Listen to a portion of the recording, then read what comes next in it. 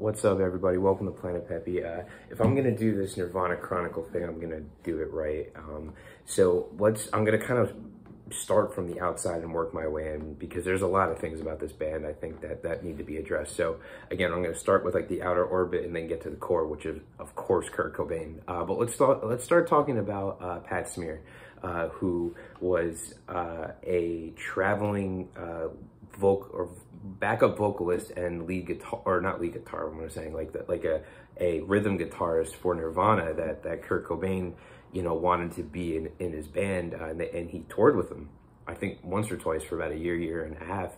And he he really rounded out the sound. Even Kurt I think in interviews was saying how like you know, it takes some pressure off me because even though Kurt was like 26, 27 at such a young age, he just mentally kind of couldn't just do it all anymore. And like, he, you know, he, he really needed someone to, you know, to, to play rhythm guitar and, you know, kind of add some stability to the band uh, in terms of like, you know, you know, just music production in general. And he even, Kurt always said Nirvana was meant to be a four piece. And I think he really wanted Pat Smear to be the fourth member of the band. I think that that was an evolving thing. And unfortunately, Kurt just couldn't stick around. He had to go.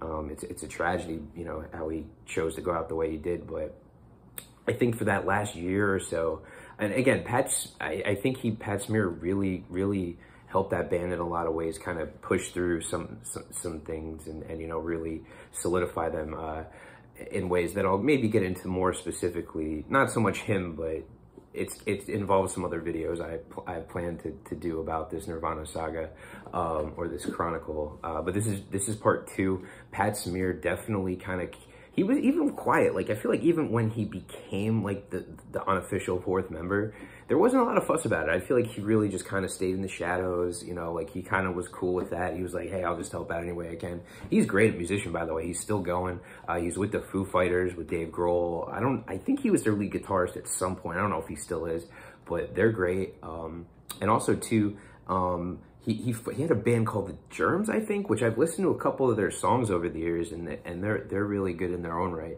So I think Kurt really saw something in him, um, and you know, for that last year and a half, especially when things got rocky with you know Kurt's drug addiction and you know like drama, and maybe I'll leave it at that for now. Um, I think I think Pat Smear really kind of came on and and really made that band eh, not great because they were great before Pat Smear. They didn't need him or anything per se. Like they, it's not like he was their savior, but like he was kind of this like unofficial fourth member that um, I think was a really good selection by Kurt. So I, I think he's a great musician and uh, he added a lot to Nirvana um, behind the scenes and I think he, he's got good vision. So uh, again, this is just part two. I'm probably going to be going down the line of, of all these artists, again, before we get to the meat of this. But, uh, you know, Pat Smear did, did a lot of great things for Nirvana. I think he helped put on great shows, you know, with Kurt, Chris Novoselic and, you know, Dave Grohl and working with Geffen Records. So uh, much, much shout out to him. Not that he needs my respect, but he's got it. So, all right, Planet Pepe, uh, part three coming soon. Star Storm Club. All right,